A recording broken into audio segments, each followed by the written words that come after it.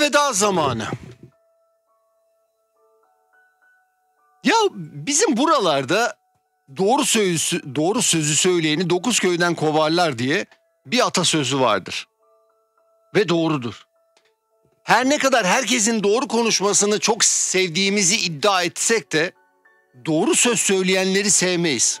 Vallahi sevmeyiz. Ve vallahi sev bizim toplumda sev bizim topraklarda sevilmez. Doğru konuşanlar. Başları belaya girer. Hep girer. Yüzyıllardır girmiştir. Doğru söyle doğru doğru şeyler söyleyenlerin başları hep belaya girer. Şirketlerde de girer, girer. Bu akşam o yüzden bir efsane anlatacağım doğru konuşanlar için.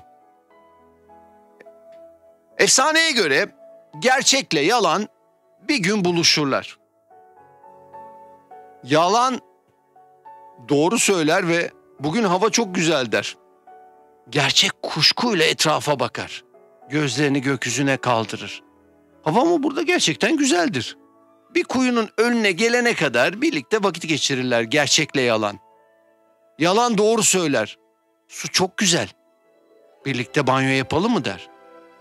Gerçek bir kez daha şüpheci bir şekilde suya dokunur. Su gerçekten güzeldir.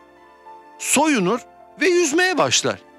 Yalan bir anda sudan çıkar, gerçeğin kıyafetlerini de giyer ve kaçar.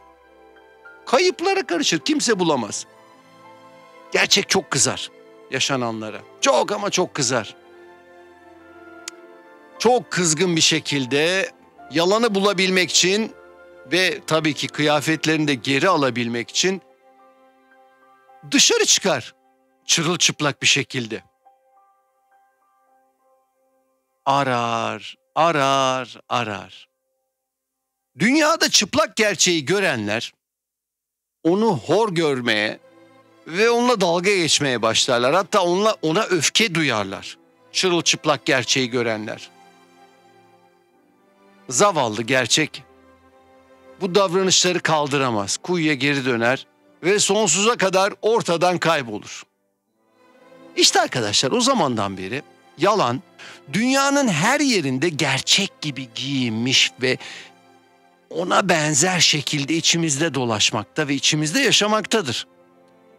Dünya ise hiçbir şekilde ama hiçbir şekilde çıplak gerçeği görmek istememektedir. Benden bu akşamlık bu kadar. Sizi çok seviyorum. Hoşçakalın.